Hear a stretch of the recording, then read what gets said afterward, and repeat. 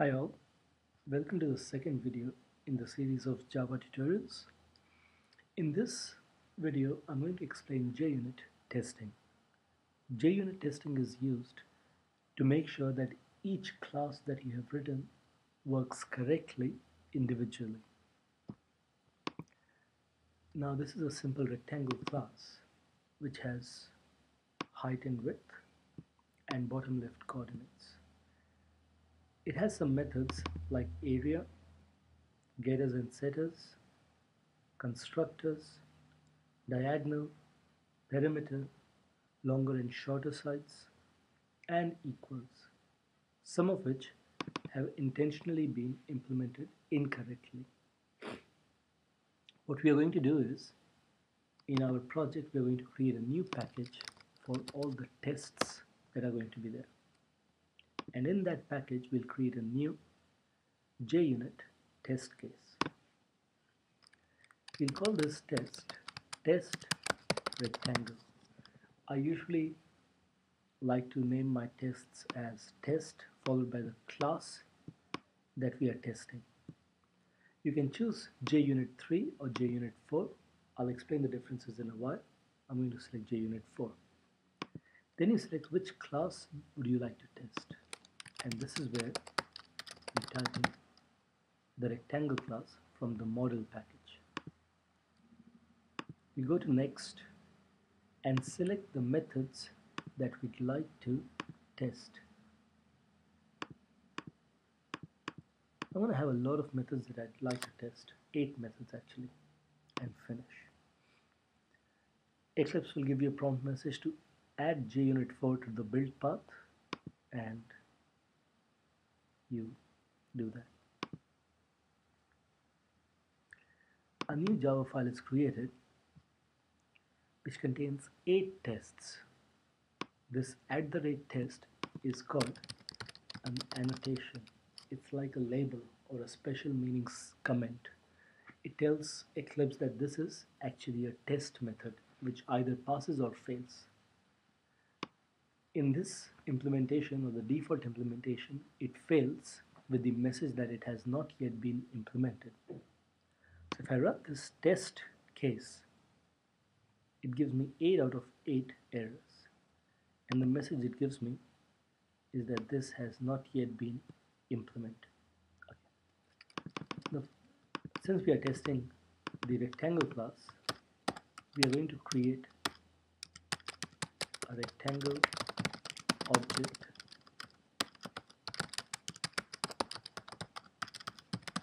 With width height 5 width 4 and bottom left coordinates coordinates at 0 comma 0 we would like this rectangle to have an area of 20 so we say assert true sorry assert equals 20 is in fact the area of this rectangle R.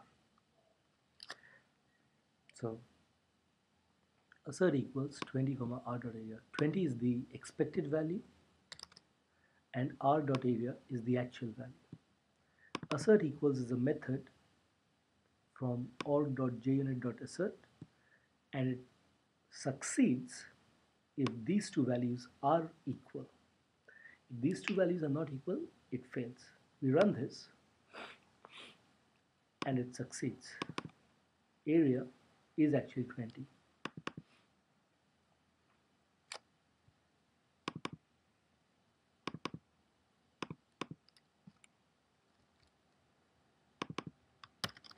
That's the area method it was not incorrect it was correct actually. Height times width.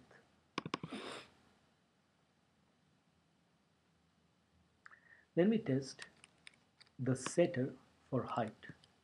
Again I'll do something like this. I'll create a rectangle object this time a default constructor. And then I will set the height of this rectangle to minus 4 now according to my logic in rectangle.java class, height is automatically set to the positive value. So that's what we are testing that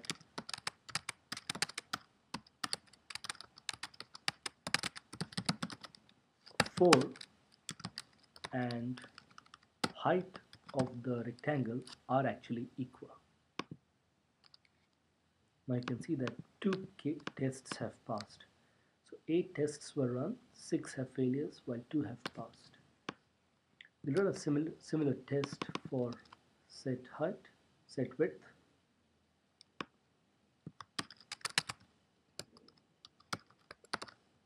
and check if the width has now become 4.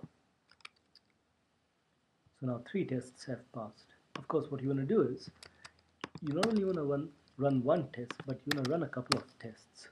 So what happens if it's 7 and what happens if it's assigned to be 0.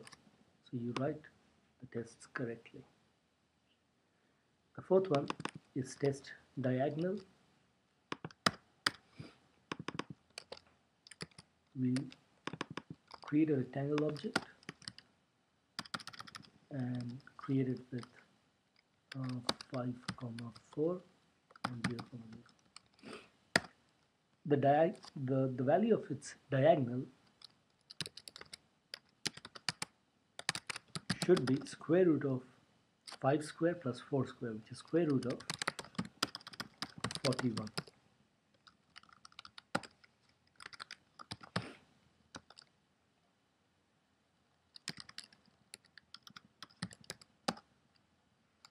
Now if I run this it gives in it strikes the assert equals out because this is not valid for JUnit 4 test cases.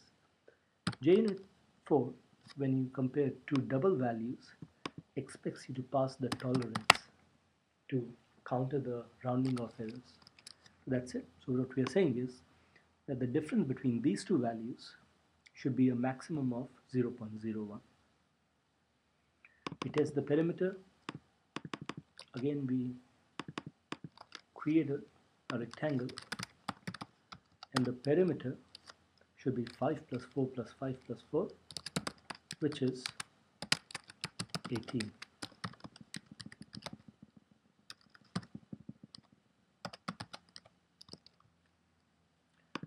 Longer side, the rectangle is 5400. Then the longer side should actually be 5.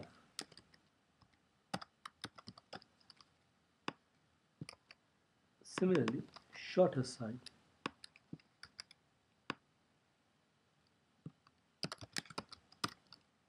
And lastly equals. So we create two rectangles R and S. First rectangle is 2 by 10 second is of 5 by 4 and we are now asserting false so we are asserting we are checking if the condition that we pass into this method be false because these two rectangles are not equal okay The different assert statements are here. I've already explained assert equals. You can pass, pass two integers, they should be exactly equal. You can have assert equals double, double, and then another double, which is the tolerance. Assert true this expression should be true for the test to pass. Similarly assert false. This expression should be false to pass the test. You have assert null where you have an object. That object should be null to pass and lastly assert not null object where the object should not be null to pass these are the different assert statements.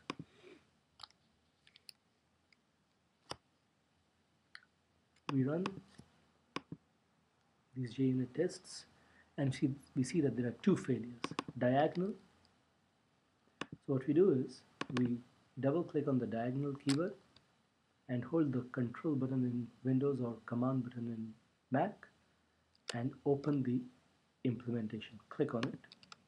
So it takes you to the implementation of diagonal which says the implementation is width times width plus height times height. Hmm. Test rectangle. Ah, the problem is that the diagonal run this and diagonal passes this is correct sorry I've called the wrong constructor earlier so the constructor is 5 4 0 0 the one that fails is perimeter double click and open implementation perimeter I have incorrectly implemented as width plus height while it should be 2 times width plus height. So in this way you can correct your mistakes going into the class which is being tested. We run this and all of them pass. When all of them pass, that's when your tests are correct. Please note one thing that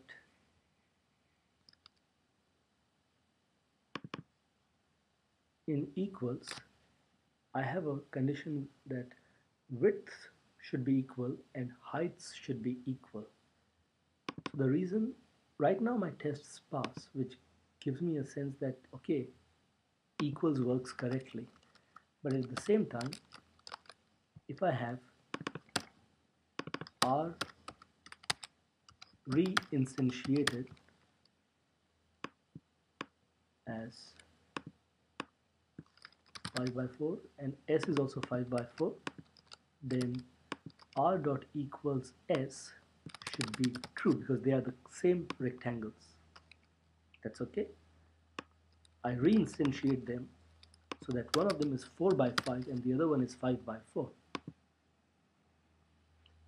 and they should be the same because R is nothing but a rotated S. While it says that the test has failed because r dot equals s is not true. So it says here assertion error which means that you're looking for true but you got false. So then you can go into equals open implementation and see what's the problem so the problem is this so what, I I'm looking to do is either their widths either their widths should be equal and heights should be equal or width of one rectangle should be the height of the other one and height of the other rectangle should be the width of the other one.